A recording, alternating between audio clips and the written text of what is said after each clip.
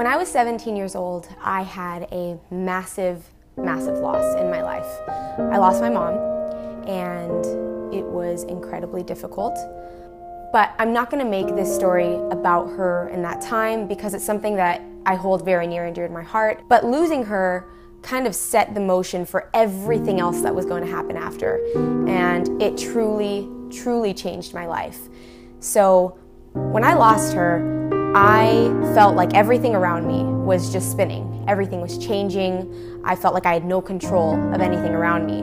And instead of getting into, you know, drinking or, you know, doing drugs, the way that I handled this crazy change was by not eating. And I went from 105 pounds to 82 pounds in the course of six months. It was absolutely insane. It was incredibly unhealthy, but that was the way that I controlled my life. I didn't become anorexic because I was insecure with my body or because I looked at myself and I saw something completely different. I did it because it was the one thing that nobody could change. It was the one thing that nobody could tell me to do differently or they could try, but I was the one controlling it. I remember realizing how serious it was when I went to the doctor one day and she had told me that if this continued, that I had the ability to lose my period. And on top of that, I would lose the ability to have children. And that's when I was like, okay, something needs to change. So, as much as I wanted to strive for a change during that time, I had decided to move to San Diego I was a licensed cosmetologist, I still am, and I was able to get what I thought would be my dream job. It was a very well renowned salon in California, and they had hired me on. And I had no idea at the time that this dream salon was actually going to feed my eating disorder even more. So I was working 40 hours a week, not getting paid overtime, was told that I had to wear heels because I was too short to work there but I think what was really just the cherry on top was that I was not allowed a break. Not a 30 minute break, not a 10 minute break, nothing.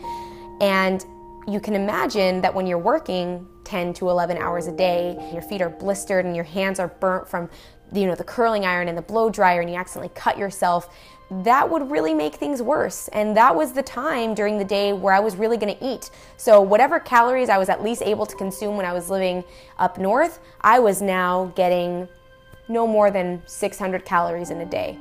Absolutely awful. I decided to go back home. And this is actually the first time when I came back home that I had actually started to eat again. I was eating actually a very substantial amount. And I remember going on Instagram and one of my old friends from beauty school had gotten into something called bikini competitions. So I messaged her and I was like, hey, like, how did you get this six pack? Like, you look so good. I want to get into this and she connected me with her coach at the time who followed clean eating which was very restrictive i would say. But you know we had six meals a day. We had tilapia and asparagus. But i enjoyed it during that time. That was a lot of fun for me and i felt like again i had gained some control in my life. That was something i seemed to always be seeking. I started going to the gym. You know my life became making my six meals a day and going to work and then coming back, changing into gym clothes, training. But I didn't realize until a few months later that I had a completely different calling. So, due to this overwhelming feeling, I kind of funneled back into anxiety and depression. And I've now come to realize that that is just a normal part of my life. I've come to accept it, but it was very, very high in this moment. So, the way that I decided to cope with it was by getting into a new hobby. I started going on YouTube and finding fitness YouTubers. And I remember coming across my good friend now, Nikki, and she would upload her workouts and she would talk about things that would help inspire people to keep training and to just stay motivated. So I was like, I could do this. I could definitely do something like this. So I got my old little rinky dinky camera that my mom had bought me years ago and I started to film.